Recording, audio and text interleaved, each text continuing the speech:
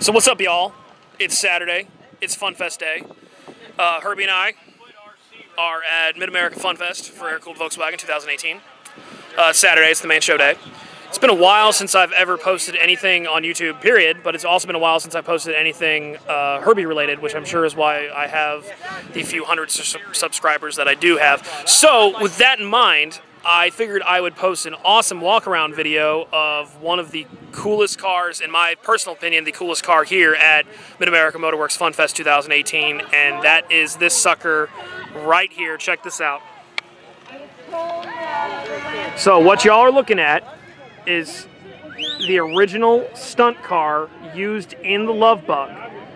Um, it's this is a Disney used movie car. This is Herbie number 10 from the Love Bug, and it was actually used in the sequel, Herbie Rides Again, in the Beetle Army scene. This is actually the same car that was the yellow car that came out of the junkyard that was all wobbly and the fenders were coming off of it, and it was like only running on three wheels or something like that.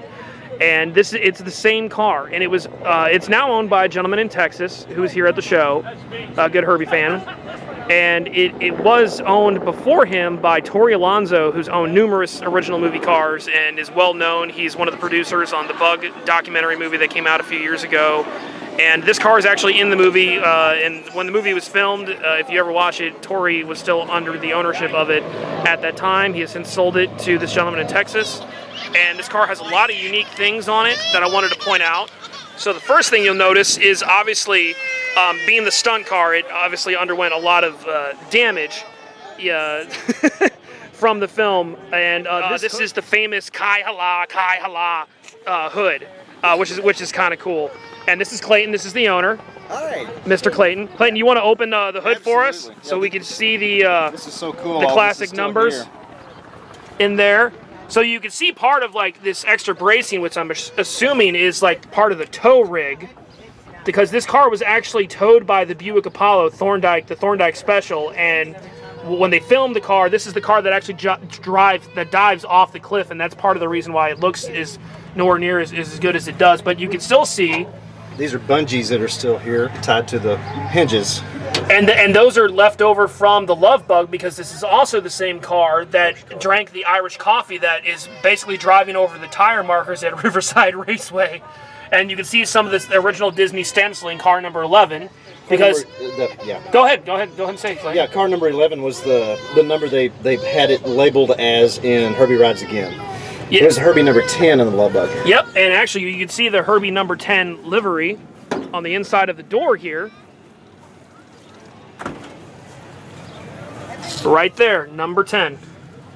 Probably one of the most interesting aspects of this car is the fact that it is not a genuine 63 sunroof model, which most of the original movie cars were not.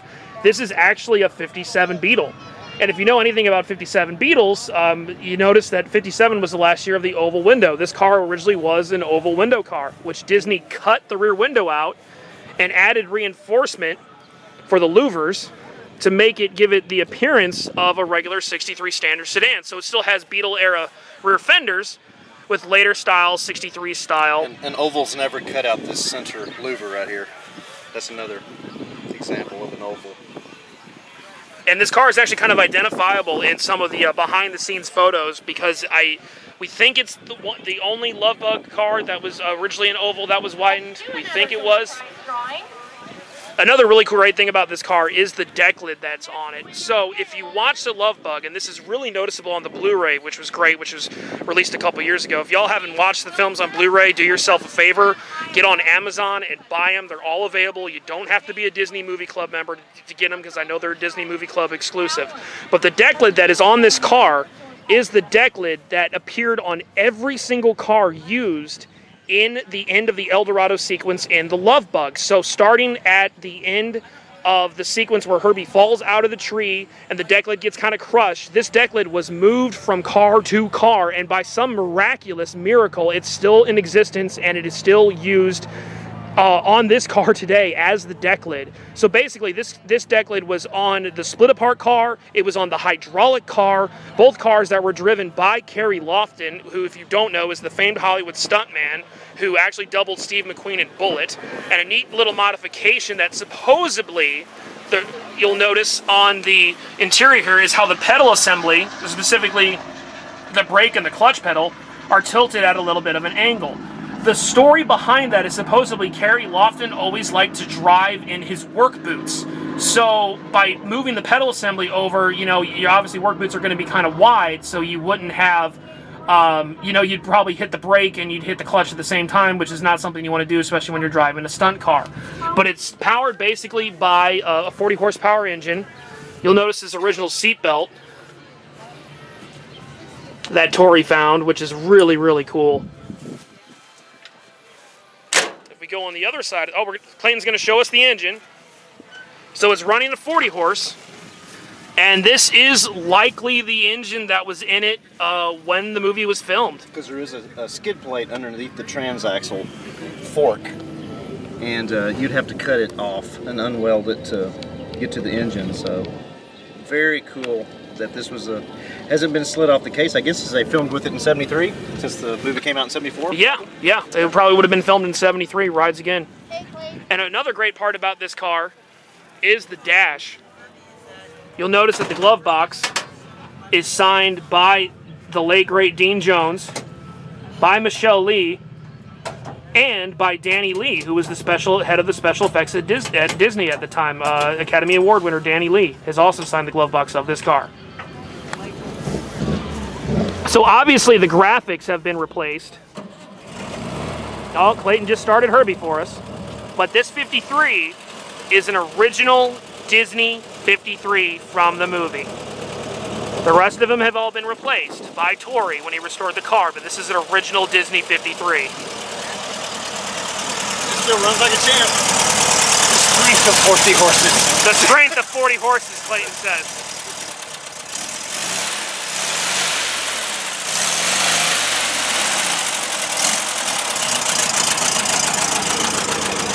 Custom widened wheels per Lovebug race specification. And if you look closely at the car, you will still see some of that famous yellow house paint that was used on the car when it was the yellow junker in Herbie Rides Again. Unfreaking believable. Easily one of the coolest movie cars I've ever had the privilege of seeing in person. So I hope you all enjoyed that little behind the scenes look at Herbie number 10. Special thanks to Clayton for giving us a little bit of a walk around and joining us. And yeah, maybe we can go for a ride later. Now, Clayton, I have to preference the fact that in my entire professional career, I've dealt with classics and exotics. Okay. Since I was 20 years old. Right. I have driven everything from Colombo V12 powered Ferraris to a Mercedes 300 SL Gullwing. Yes. Million dollar cars. And now you're in a 57, 63 wannabe. That's an original movie car that Terry Lofton drove and Max Blachowski worked on. Oh my god, I might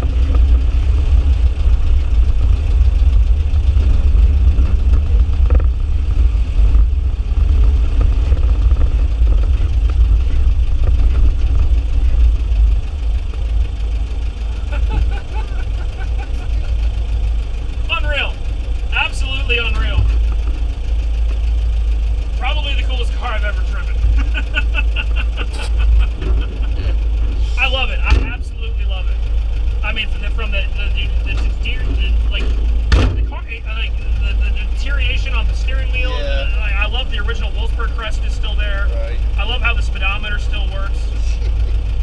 Do the turn signals work? They do. Oh, well, I clicked They, or they did. It did. It's working. It's working very slow. Yeah. Is it still six volt? Yes. That's why. There's, that's why.